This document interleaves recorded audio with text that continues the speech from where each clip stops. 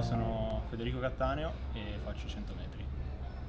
L'atletica per me è uno sport che mi ha dato molte soddisfazioni. Sono riuscito a indossare la maglia azzurra ed è una, una sensazione bellissima che auguro a tutti quanti.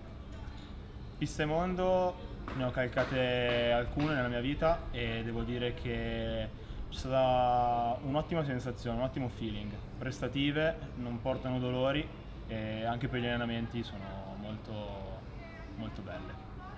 Prossimi obiettivi europei e sogno nel cassetto Olimpiadi.